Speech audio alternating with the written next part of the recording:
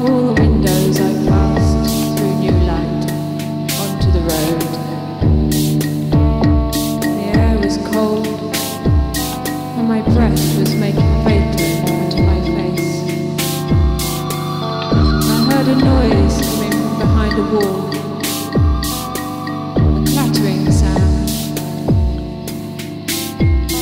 A fox had knocked over a metal dustbin in an alleyway. He looked at me with bright eyes. Startled, he stood silently, staring back at me for a brief moment. Our souls